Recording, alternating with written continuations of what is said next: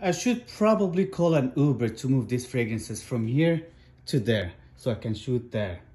Because every time I just keep on grabbing like two fragrances just to put here to make it handy for me to shoot these videos. It's just taking a little bit way too long.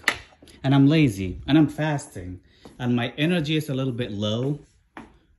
And I want to serve and conserve my energy to the fullest until my eating time or until I finish this video at least because I don't want to be like yawning, sleeping and probably need a blanket in front of you guys in, in on that video.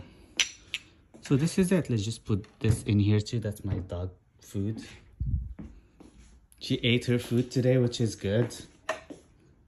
Because she's that picky of a girl. All right, let's put this in here. I still want you to name three fragrances of my most complimented of all time from this list. And this is the last two.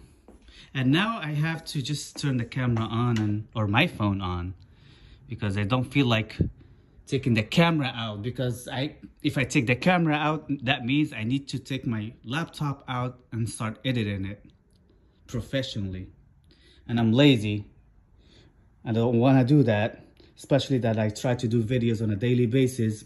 And videos on a daily basis just take way too much time.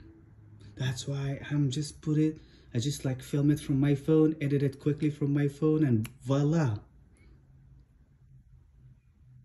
Also, the reason why I like to do this like bloopers or like uh, stories, uh, what stories? I need stories for my social media handles. First of all, and second of all, why I do this this type of stories, just because I, I train myself to talk, you know, before I actually do the video, because I've been on my computer working all day, not talking. And like when you don't talk for a long time, when I start talking, all of a sudden, I start like blippering and I start like uh, stuttering and that video just takes longer. But when I actually like kind of like get my tongue to actually talk, then the video goes fast.